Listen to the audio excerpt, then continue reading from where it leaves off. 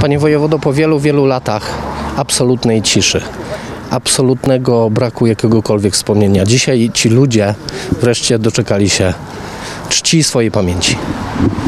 Tak jest. Spotkaliśmy się tutaj dzisiaj w Dzierżoniowie przed pomnikiem e, żołnierzy wyklętych e, w 70. rocznicę zamordowania kierownictwa e, Zrzeszenia Wolność i Niezawisłość na czele z pułkownikiem Łukaszem Cieplińskim, kryształową postacią, żołnierzem niezłomnym.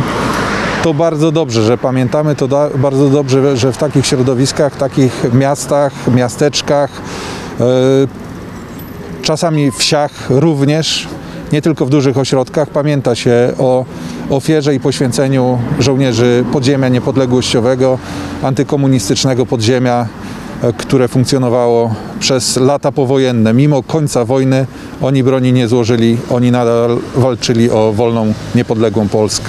Dobrze, że pamiętamy, musimy pamiętać, kolejne pokolenia muszą przejmować sztafetę pamięci. Pani Ireno, dzisiaj bardzo ważny dzień, mimo pandemii, e, jednak spotkaliście się tutaj oddając cześć e, bohaterom.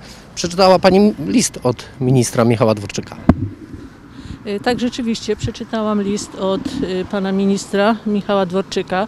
Pomnik ten, y, przed którym stoimy, jest to drugi pomnik żołnierzy wyklętych. Inicjatorem właśnie tego pomnika jest pan, Micha, pan Michał Dworczyk, minister Michał Dworczyk. No jest to, tak jak już powiedziałam, drugi pomnik na Dolnym Śląsku, bo pierwszy chyba w Nowej Rudzie stanął. Pan minister nie mógł być na tej uroczystości, więc ja odczytałam list od pana ministra. Y, Jak gdyby dopełnieniem y, tej uroczystości jest bieg tropem wilczym, którego również inicjatorem y, był pan minister Michał Dworczyk, ale ze względu na pandemię uroczystość ta jest od, odbędzie się 16 maja. Y, Oczywiście zapraszamy, myślę, że będą dogodne warunki.